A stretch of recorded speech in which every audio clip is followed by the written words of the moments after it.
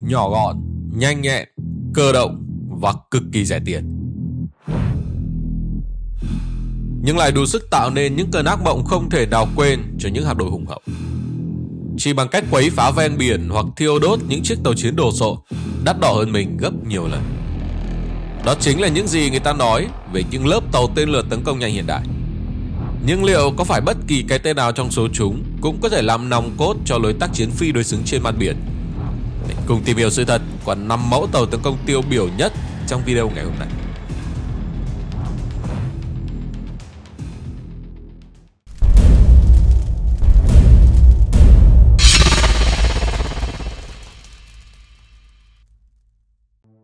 Có thể bạn đã biết, dù có nhiều phương pháp phân loại khác nhau, những khái niệm tàu tên lửa tấn công nhanh thường được dùng để chỉ loại tàu chiến dưới 1.000 tấn, tốc độ cao, được xếp vào nhóm corvette. Loại tàu này sử dụng tên lửa làm vũ khí chính để tấn công đối phương. Sự khác biệt đáng kể trong vai trò giữa tàu tên lửa tấn công hiện đại so với các tàu phóng lôi trước kia chỉ là loại vũ khí chính được lắp đặt trên tàu. Theo đó, thay vì sử dụng ngư lôi có tốc độ chậm, tầm bắn hạn chế, các tàu tên lửa hiện đại thường tấn công bằng loại tên lửa hành trình chống hạm. Cá biệt trên một số lớp tàu, người ta vẫn tích hợp được cả hệ thống tên lửa phòng không tầm trung, tầm thấp, trong khi kích thước trọng lượng cũng không bị tăng lên đáng kể. Một trong những lợi thế khiến tàu tên lửa tấn công nhanh trở thành mối nguy hàng đầu đối với những hạm đội hùng hậu, chủ yếu là bởi chúng có thể dễ dàng đóng mới, sửa chữa, cùng khả năng di chuyển nhanh chóng trên mặt biển với tốc độ từ 60 km/h. Nhưng đáng nể nhất là khả năng mang tới hàng chục tên lửa diệt hạm trên bong khiến chúng không khác gì một phương tiện mang tên lửa. Cùng tốc độ cao và khả năng tùy thuộc vào các tên lửa mang theo, người ta có thể đưa tàu đến vị trí thích hợp, phát đòn tấn công vào đối phương rồi tẩu thoát nhanh chóng. Cứ như vậy, ngay cả khi có bị quân thù truy quét, con tàu vẫn có thể dễ dàng tẩu thoát dựa vào kích thước nhỏ và tốc độ cao. Bên cạnh đó, sự phát triển của các công nghệ tinh vi hơn cũng cho phép người ta tích hợp thêm cho con tàu nhỏ bé những công nghệ điều khiển tự động và định vị điện tử, khiến cho những con tàu này trở nên nguy hiểm hơn bao giờ hết. Sự hạn chế của tàu tên lửa tấn công có chăng chỉ do chính sự gọn, nhẹ khiến chúng rất dễ bị tổn thương trước hỏa lực pháo hạm. Và tất nhiên, chúng hoàn toàn không thể toàn vẹn nếu bị trúng bom hoặc tên lửa diệt hạm vì được thiết kế theo hướng tối ưu hóa không gian vốn rất nhỏ bé cho khả năng mang vũ khí và các thiết bị cảm biến, định vị. Tàu tên lửa tấn công nhanh, nhất là những tàu dưới 500 tấn, cũng không mang được nhiều nhiên liệu và thường chỉ có thể di chuyển trong phạm vi khoảng 3.000 km, chỉ bằng 1 phần tư so với các tàu khu trục. Quá ngắn để có thể tác chiến liên tục tại các vùng biển cách quá xa căn cứ.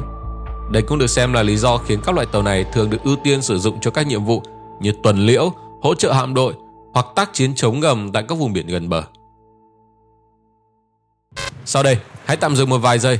Kiến thức quân sự xin có một câu đối nhỏ dành cho các bạn. Trong bốn cái tên trên màn hình, đâu là tên của lớp tàu tên lửa hiện đại dưới 500 tấn mà Việt Nam có sở hữu? A. Monia B. Pegasus C.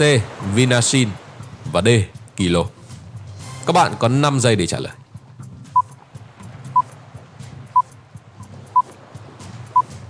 Thời gian đã hết. Hãy viết câu trả lời xuống dưới phần comment. Đáp án chính xác sẽ được chúng tôi công bố ở cuối video. Còn bây giờ, cùng nhìn lên màn hình. Con tàu đang hiện lên rõ một một trước mắt các bạn chính là một chiếc tàu tên lửa tấn công cao tốc thuộc lớp Skate đang được biên chế trong hải quân Na Uy. Thoạt nhìn bề ngoài, có vẻ như con tàu có thiết kế hơi phản khoa học. Khi thay vì làm mũi tàu thuôn dài hoặc lồi ra như quả lê, các kỹ sư người Na Uy lại khiến nó không khác gì mấy so với một chiếc thiết giáp chiến đấu. Tuy nhiên, nhiều chuyên gia lại nhận định rằng đó chính là kiểu dáng khí đậu học hoàn hảo giúp tối ưu triệt để hiệu quả của các loại công nghệ được tích hợp trên tàu. Bên cạnh đó, thân tàu cũng được chế tạo bằng vật liệu composite giúp tăng đáng kể hiệu quả tăng hình của chiếc skate, chiếc radar và các thiết bị dò tìm phổ biến hiện nay. Thêm nữa, khi điều khiển chiếc tàu này, các thủy thủ cũng sẽ được trải nghiệm cảm giác là một quái xế trên mặt biển, thỏa sức đánh nhanh rút gọn các mục tiêu với vận tốc lên tới 110 km/h trên bất kỳ địa điểm nào thuộc phạm vi hoạt động gần 1.300 km của con tàu. Sở dĩ con tàu dài 47,5m, cao 15m này có thể đạt tốc độ vượt trội hơn bất kỳ mẫu tàu cùng loại nào là bởi nó được áp dụng công nghệ đệm không khí giúp tạo ra sức mạnh phản lực dưới nước đẩy con tàu lao đi với vận tốc cực nhanh. Thiết kế này cũng cho phép con tàu có thể hoạt động tại cả những vùng nước rất nông, luồn lách dễ dàng trong những vịnh nhỏ hẹp. Tuy nhiên, trong các nhiệm vụ tấn công đột phá bất ngờ vào các mục tiêu có năng lực tác chiến cực mạnh, như các hạm đội hay căn cứ hải quân, việc có thể di chuyển với tốc độ tới hơn 100 km/h cũng không có ý nghĩa nhiều khi đối phương hoàn toàn có thể tiến hành truy sát tổng lực. Khi đó, nhiều khả năng con tàu sẽ trở thành miếng mồi ngon cho các tên lửa chống hạm, hoặc phải trở về cùng vài chục vết rách trên thân. Do đó, để có thể hoàn thành nhiệm vụ tấn công quân địch mà thủy thủ đoàn vẫn có thể rút lui an toàn, bên cạnh khả năng lẩn tránh radar, các tàu chiến lớp cũng được tích hợp hàng loạt các thiết bị cảm biến và radar đa nhiệm, đủ khả năng vừa tác chiến phòng không, đối hải kèm đối kháng điện tử. Tất cả chỉ nhằm giúp thủy thủ đoàn có thể nhận diện sớm các phương tiện của đối phương xung quanh, trong khi vẫn giữ được bí mật khi tiếp cận mục tiêu. Còn nếu lo lắng, không biết con tàu 274 tấn này có thể tấn công những chiến hạm đối phương bằng cách nào, thì chúng ta không hề thấy một loại vũ khí nào khác ngoài khẩu pháo đa năng 76 ly bên ngoài. Thì đây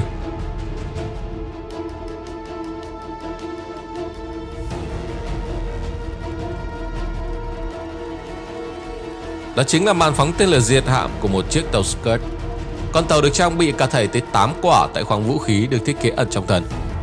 Được biết, quả tên lửa vừa được phóng đi chính là Kongsberg NSM. Nó có trọng lượng là 407 kg, nhưng chỉ có chiều dài vỏn vẹn 3,96 m. Tính năng nổi bật nhất của loại tên lửa này đó là khả năng bay với độ cao chỉ 10 m so với mặt biển xuyên suốt quãng đường 185 km đến mục tiêu, khiến nó trông như đang lướt đi dưới những con sóng. Với khả năng di chuyển ở độ cao thấp, kết hợp loại vật liệu bao phủ bằng composite giúp nâng cao khả năng sống sót của tên lửa trước các hệ thống phòng thủ của đối phương. Skirt cũng được xem là lớp tàu tàng hình có độ bộc lộ radar cực thấp, cùng với khả năng tự động hóa rất cao nhờ hệ thống chỉ huy tác chiến Zenith 2000 tiên tiến. Chỉ cần thủy thủ đoàn gồm 16 người là đủ để nó đáp ứng hầu hết các nhiệm vụ tác chiến. Đó là của Na Uy. Còn tại Thụy Điển, những hậu duệ Viking lại có vẻ không quá chú trọng đến tốc độ và khả năng ẩn thân. Khi lớp tàu hộ tống Jagdborg của quốc gia này chỉ có tốc độ 56 km/h và không hề có tính năng tàng hình. Thay vào đó, con tàu lại có những lợi thế riêng biệt khi được trang bị đầy đủ các hệ thống vũ khí đồ sộ hơn rất nhiều. Vì được chế tạo như một loại vũ khí nhỏ, nhẹ, có thể giúp lực lượng hải quân nhỏ bé của người Thụy Điển tấn công các tàu nổi của Liên Xô ngay khi quốc gia khổng lồ này phát động tấn công. Lớp tàu hộ tống Jotobor có thể mang tới 8 tên lửa chống hạm RBS-15 MK4. Khi tấn công mục tiêu, con tàu sẽ dựa vào các thông tin thu được từ loại radar Seagraph 150HC để đồng thời tấn công nhiều mục tiêu cùng lúc. Nói về RBS-15 MK4, dù không được làm bằng vật liệu composite như loại tên lửa Kongsberg NSM, quả tên lửa sẽ không hề khó phát hiện, nhưng bù lại, loại tên lửa này có thể tấn công mục tiêu từ tầm bắn tới hơn 300 km, tức là tương đương khoảng cách từ Hà Nội đến thành phố Vinh. Không chỉ có tầm bắn xa, loại tên lửa này cũng được cho là vẫn có thể hoạt động hết sức ổn định và chính xác, ngay cả trong các điều kiện thời tiết khắc nghiệt. Ngoài ra, thiết kế mô đun cũng cho phép người ta có thể nâng cấp tên lửa trong tương lai. Không như Skirt, chủ yếu chỉ có thể tấn công mục tiêu bằng tên lửa. Các tàu lớp Jetterbird còn có lựa chọn tấn công khác bằng 4 ống phóng ngư lôi 400 ly cùng 4 hệ thống phóng bom chìm chống ngầm kiểu 601 cho phép nó có khả năng tiêu diệt cả các tàu ngầm đối phương. Là một lớp tàu thiên về khả năng tấn công phi đối xứng, nhưng sức mạnh phòng không của Jetober vẫn khá đáng nể so với các lớp tàu cùng hạng cân nhờ pháo Bofors 57 ly 70 MK2, một pháo bắn nhanh Bofors 40 ly 70, tốc độ bắn 330 phát trên phút và tầm bắn là 12,5 km. Để thích ứng với các nguy cơ chiến tranh hiện đại, người Thụy Điển cũng chuẩn bị sẵn cho Göteborg một hệ thống tác chiến điện tử gồm 4 bệ phóng mồi bẫy cố định Finlax chuyên dùng để đánh lạc hướng đối phương bằng đạn nhiễu hồng ngoại và nhiễu tiêu cực. Để nâng cao hiệu quả hiệp đồng tác chiến với các đơn vị khác, con tàu cũng được trang bị đường truyền dữ liệu tác chiến 9LV MK3 và hai hệ thống trinh sát qua điện tử 9LV 200 MK3, giúp duy trì liên lạc ổn định ngay cả khi đối mặt với một cuộc chiến tranh cường độ cao. Tuy nhiên, không chỉ ở những quốc gia đất hẹp người thưa như Na Uy và Thụy Điển, người ta mới ưa chuộng lớp tàu nhỏ bé hiện đại như vậy. Ngay đối với một quốc gia chưa bao giờ thiếu người như Trung Quốc, quân đội nước này trong thời gian gần đây cũng đặc biệt chú trọng sử dụng các tàu tên lửa siêu nhỏ trong bối cảnh nước này đang ngày càng thể hiện rõ các tham vọng chủ quyền phi lý tại Biển Đông và Biển Hoa Đông. Trong đó, lớp tàu tên lửa tàng hình Type 022 được NATO định danh là Huobe, chính là chiếc mà các bạn đang nhìn thấy trên màn hình, đã trở nên quen thuộc đối với bất kỳ ai thường xuyên chú ý đến hoạt động tranh chấp hải quân Trung Quốc với các quốc gia láng giềng. Mang trong mình hình dáng có nhiều điểm tương đồng với lớp tàu Skirt của Hải quân Na Uy và cũng được phía Trung Quốc cho là có khả năng tàng hình. Nó cũng không hẳn là những lời lẽ phóng đại, bởi ngoài kích thước nhỏ bé, chỉ có trọng tải choán nước 224 tấn, con tàu cũng được thiết kế góc cạnh giúp hạn chế phản xạ radar. Tàu cũng sử dụng 4 bộ thiết bị đẩy phun nước để không tạo ra bọt nước mạnh như khi sử dụng chân vịt thông thường. Nhờ đó có thể triệt tiêu âm thanh và đạt được hiệu quả chế đâm cao. Nhưng không rõ vì lý do gì mà các kỹ sư Trung Quốc lại để hàng tá cấu trúc thẳng đứng như thế này dọc theo chiều dài 43 mét của con tàu. Thiết kế này được cho là sẽ hạn chế khả năng tàng hình và khiến tàu dễ bị phát hiện hơn. Dù trông có vẻ nhỏ bé, vô hại, nhưng con tàu này cũng được trang bị pháo 30 ly cùng 8 tên lửa chống hạm ưng kích 83. Đây là loại tên lửa chống hạm tầm trung kiểu mới, tầm phóng lớn nhất 150 km, sử dụng phương pháp điều khiển bằng lệnh trên hành trình dẫn đường vô tuyến thụ động ở giai đoạn cuối. Trong tác chiến, tàu có thể phóng toàn bộ 8 tên lửa với giãn cách tới 3 giây trên quả. Khi được phóng ra, tên lửa sẽ duy trì đường bay theo hành trình định sẵn. Trong quá trình bay có thể thu nhận dữ liệu mục tiêu và thay đổi mục tiêu tiến công đã xác định ban đầu. Khi cách mục tiêu 10 km, radar dẫn đường giai đoạn cuối khởi động, sục sạo và bám mục tiêu. Sau đó tên lửa lướt trên biển, tiến công vào mớn nước của tàu mục tiêu. Được biết theo một số nguồn tin, người Trung Quốc hiện đang sở hữu tới hàng trăm chiếc tàu loại này và có thể chế tạo gấp vài lần số đó nếu xảy ra chiến sự. Hãy thử tưởng tượng xem, sẽ thế nào nếu bạn đang chỉ huy một hạm đội và xung quanh là các tàu đối phương được vũ trang đầy đủ đang tiến đến với số lượng đông hơn cả số tên lửa mà bạn có. Đó quả thực sẽ là một bài toán hết sức nan giải, bởi ngay cả khi có thuận lợi đẩy lui đợt tấn công khổng lồ này, những chiếc tàu to lớn trong hạm đội cũng khó có thể toàn vẹn trở về. Đó cũng là lý do trong suốt một quãng thời gian dài, Type 022 đã được Hải quân Trung Quốc dùng cho mục đích phòng thủ lãnh hải trước ưu thế cực lớn của Mỹ. Chỉ hơn chục năm gần đây, thế giới đã chứng kiến sự thay đổi rất lớn của Hải quân Trung Quốc khi họ phát triển từ lực lượng lấy tác chiến phòng thủ ven bờ làm chủ đạo thành hải quân nước xanh với khả năng tung sức mạnh đến các vùng biển rất xa. Do đó, những chiếc Type 022 cũng đang dần bị thay thế bởi loại Type 056 có lượng giãn nước 1.500 tấn. Nhưng cũng có ý kiến cho rằng, trong trường hợp xảy ra chiến tranh quy mô lớn, vẫn không có lý do gì để loại trừ khả năng người Trung Quốc sẽ lại đưa loại tàu tương tự như vậy vào sử dụng với số lượng áp đảo. Do biết lợi thế của những lớp tàu dưới 500 tấn như Skirt Type 022 nằm ở trên kích thước nhỏ bé, tốc độ cao, cùng khả năng tăng hình với lượng tên lửa đủ để uy hiếp đến cả các chiến hạm cỡ lớn. Tuy nhiên, việc chỉ có thể mang vài tên lửa đối hạm cũng khiến những chiếc tàu bị chú ý cho rằng chúng giống một cỗ máy chống hạm hạng nhẹ hơn là một tàu chiến thực thụ. Hơn nữa, việc không được trang bị hệ thống phòng không đủ mạnh cũng khiến con tàu gần như bất lực khi phải đối mặt với các đòn tấn công trước các máy bay được trang bị tên lửa đối hạm. Và nếu điều bạn muốn là một mẫu tàu hộ tống mang sức mạnh vũ trang toàn diện thay vì tin tưởng vào khả năng tàng hình trước các hệ thống trinh sát do tìm tiên tiến, thì ngay bây giờ, Kính thức quân sự xin mời các bạn tham quan lớp Sa A5 đến từ Israel. Dù có lượng choán nước tới 1.065 tấn, nhưng đây được xem là lớp tàu hộ vệ hạng nhẹ mạnh nhất thế giới, mang sức mạnh tấn công vượt trội so với bất kỳ loại chiến hạm nào có trọng lượng dưới 1.500 tấn khác trên thế giới tính đến thời điểm hiện tại. Thật vậy, trong thân hình chỉ dài 88,64m, rộng 11,83m cùng lượng choán nước 1065 tấn. Con tàu vẫn mang theo tới 64 tên lửa phòng không Barak 1 có thể tấn công mục tiêu tại khoảng cách từ 500m đến 12 km cùng với tốc độ Mach 2.1. Hoặc trong những trường hợp cần thiết, khi phải tấn công các mục tiêu như tiêm kích, cương kích hoặc UAV chiến đấu, người ta cũng có thể thực hiện một số cải tiến cho nó có thể mang 16 tên lửa phòng không tầm trung Barak 8. Đây được xem là một trong những tên lửa đất đối không tầm trung tiên tiến nhất hiện nay khi có thể tiêu diệt mục tiêu từ khoảng cách 70 km tại độ cao gần 20 km với tốc độ tối đa Mach 2. Dựa vào đầu dò radar, kênh liên lạc hai chiều kết hợp cùng tổ hợp radar LM2248 MF Star có tầm bao phủ 250 km. Tổ phòng không trên Sa 5 có thể nhận diện chính xác vị trí các máy bay địch xung quanh, đồng thời dẫn đường cho 16 tên lửa Barak 8 đến tấn công, tiêu diệt mục tiêu một cách nhanh chóng. Không chỉ sở hữu năng lực phòng không vượt trội, những tàu chiến lớp Sa 5 cũng có thể được lắp tới 8 tên lửa chống hạm Harpoon lừng danh do Mỹ sản xuất, có thể tiêu diệt chính xác các chiến hạm tối tân trong phạm vi tới 220 km. Riêng đối với các mục tiêu giá trị kém, ở khoảng cách dưới 11 km hoặc không quá nguy hiểm đến mức phải sử dụng loại tên lửa đối hạm đắt đỏ này. Các thủy thủ đoàn trên tàu cũng có thể lựa chọn tấn công bằng loại ngư lôi MK46 được sử dụng rất phổ biến ở những dòng tàu chiến phương Tây. Đó là còn chưa kể đến khẩu pháo MK15 Phalanx CWS 6 nòng cỡ 20 ly cho tốc độ bắn từ gần 3.000 viên một phút. Quá thoải mái để xé vụn những chiếc xuồng cao tốc của bọn phiến quân và các UAV cạp từ thông thường. Dù không có khả năng gần mình tốt như lớp skirt của Na Uy, thiết kế góc cạnh trên thân tàu kết hợp cùng vật liệu composite vừa làm tán xạ sóng radar, tránh bộc lộ tín hiệu hồng ngoại, vừa giúp giảm tiêu hao nhiên liệu.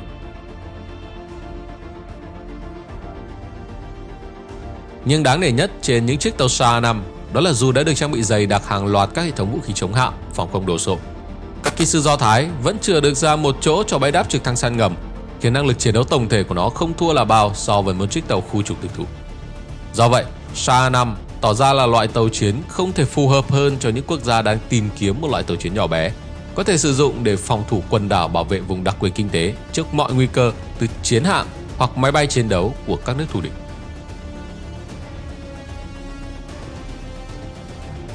Nhưng trời trêu là chính việc phải gồng cánh quá nhiều hệ thống vũ khí hạng nặng trên một khung thân không lấy gì làm to lớn cho lắm, cũng khiến các tàu xa 5 chỉ có thể di chuyển được tốc độ 37 km/h, quá chậm so với bất kỳ loại chiến hạm nào khác trên thế giới. Tốc độ tối đa của nó thậm chí còn thua xa so với con số 59 km/h của tàu tên lửa Nanuka được Liên Xô phát triển từ những năm 1970. Điều thú vị là cái tên Nanuka được nhiều người biết đến thực chất là tên định danh của NATO dành cho lớp tàu hộ vệ tên lửa cỡ nhỏ thuộc dự án 1234 OVOT của Hải quân Liên Xô. Ngay khi vừa ra đời, cái tên Nanutka đã được xem là mối đe dọa tiềm tàng cho sự an toàn của các hạm đội NATO. Đó chủ yếu là bởi lớp tàu này được trang bị 6 tên lửa hành trình đối hạm P-120 Malachit mang theo đầu đạn bán xuyên giáp 500 kg, có tầm bắn tới 110 km, được xem là một trong những tên lửa đối hạm nguy hiểm nhất trên thế giới tại thời điểm mới ra mắt. Trong khi đó tàu chỉ có lượng giãn nước tiêu chuẩn 560 tấn, dài 59,3 m, rộng 12,6 m. Sau này, khi các tên lửa Malachit đã bắt đầu có những dấu hiệu lỗi thời do tốc độ chậm, kích thước cồng kềnh, cơ động kém, dễ bị gây nhiễu khi gặp đối phương sở hữu năng lực tác chiến điện tử vượt trội. Chính vì vậy mà Nga đã tiến hành gói nâng cấp thay thế vũ khí này bằng cụm 12 ống phóng của tên lửa đối hạm Onyx, có tầm bắn tới 300 km, cùng tốc độ tới Mach 2.5, gần như không thể bị đánh chặn. Hệ thống vũ khí phụ được trang bị trên Nanuska là pháo nòng đôi AK-725 cỡ 57 ly, có tốc độ bắn 200 phát trực phút, chuyên dùng để chống lại mục tiêu trên biển và trên không với các kiểu đạn nổ mảnh vạch đường, đạn nổ mạnh HE. Đây cũng được xem là loại pháo hạm tốc độ cao tốt nhất hiện tại.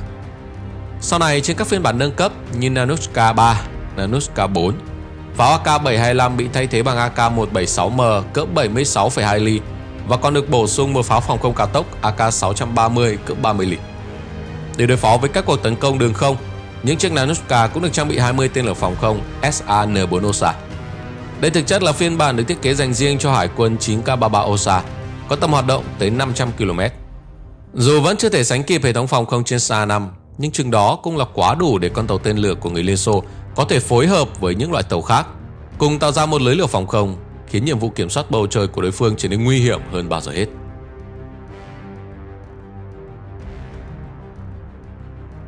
Trong bối cảnh nền kinh tế đất nước còn nhiều khó khăn, phiên bản tàu chiến Caracas chưa thể được biên chế rộng rãi. Theo dự kiến, những chiếc Nanutka vẫn sẽ tiếp tục sát cánh cùng hạm đội biển đen Nga ít nhất cho đến hàng chục năm sau.